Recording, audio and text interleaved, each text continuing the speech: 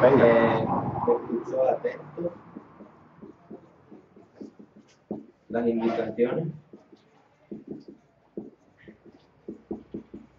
antes del examen.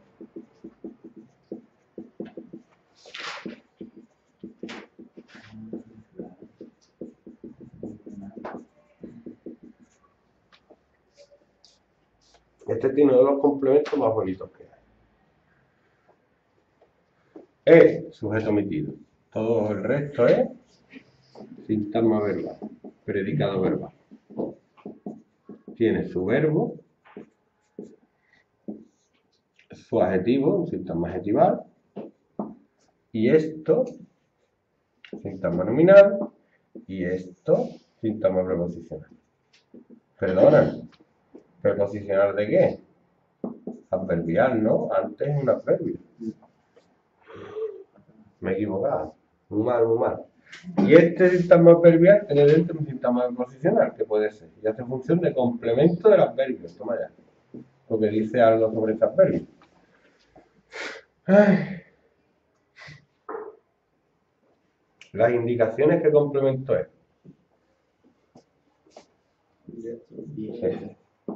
Y ahora viene el que a mí me gusta. Atento, ¿qué complemento es? Yo no digo ese. ¿Cómo? Yo digo ese con el de modo. ¿Con el de qué? El complemento predicativo con el de modo.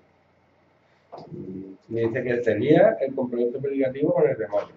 Está muy bien. por esto he puesto frase. Porque tiene el complemento predicativo yo tampoco lo...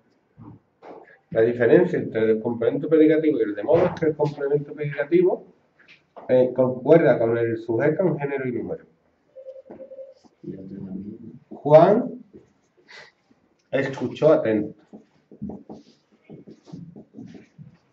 Si fuera María, ¿cómo sería? María escuchó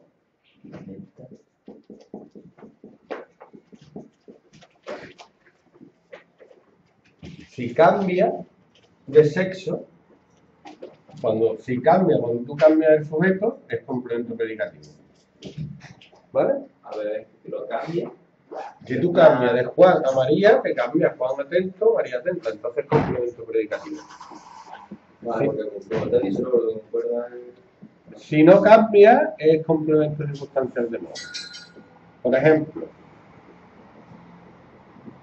escuchó tranquilamente. Ahí no, ahí sería complemento circunstancial de modo. De todas formas, hay adjetivos que no cambian de género. Escuchó feliz, ahí no cambia. ¿Cómo sé yo si es predicativo de modo? Pues porque esto es un adjetivo, no un adverbio. ¿Vale? Ay, Que te vaya bien.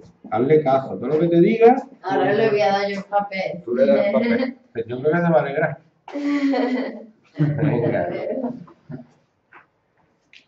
Porque hombre, todo que se me aguanta todos los días.